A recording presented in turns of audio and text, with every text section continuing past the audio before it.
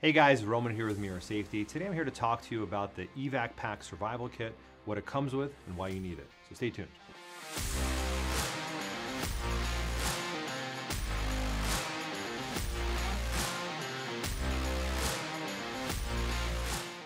So this is our EvakPak Survival Kit.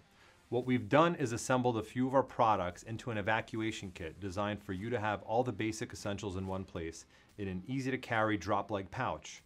Uh, this kit is designed for quickly having all of your essential respiratory protection items immediately close at hand for emergency situations where time is critical. So let me show you what's included in the kit. So the cornerstone of the kit is the CM6M full face respirator. Now this mask shares uh, some attributes with our other respirators and it is made of bromobutyl rubber. It does have dual 40 millimeter NATO threaded ports and it does have a speech diaphragm along with a drinking system. The biggest difference of this respirator uh, in comparison to our other respirators is the wide panoramic field of view. So this is really made for a very high level of impact protection and is professionally used by CBRN specialists along with riot control uh, agents as well because of that, once again, uh, polycarbonate visor, wide panoramic field of view that's highly impact resistant.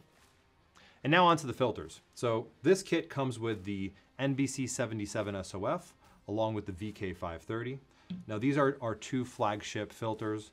The NBC77 SOF takes three different filters and puts it into one package where you're getting a filter that does toxic industrial chemicals, it does CBRN threats, which stands for chemical, uh, biological, radiological, and nuclear. And it also has a DIN rated reactor for radioactive methyl iodide filtration.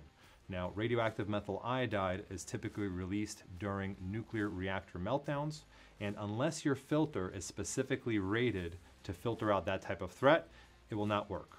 And once again, agencies mostly have to stock three different filters in order to do what this one filter does, and it does have a long-standing 20-year shelf life.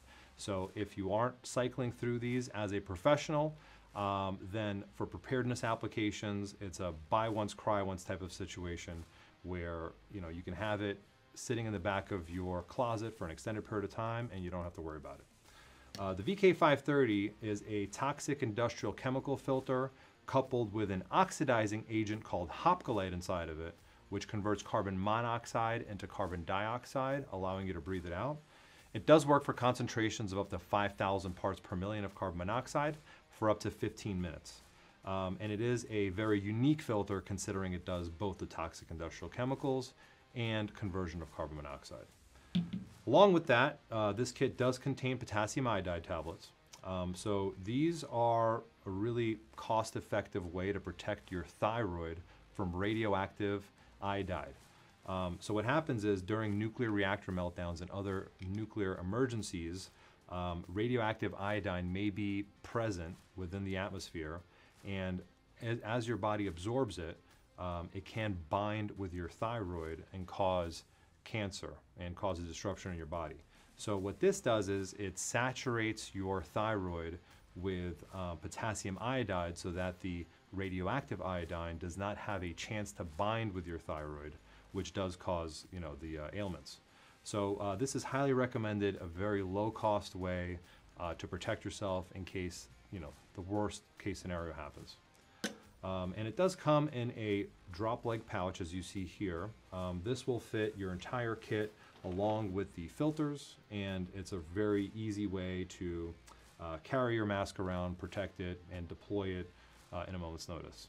So thanks for watching guys. Uh, make sure to like, comment, and subscribe, and I'll see you in the next video.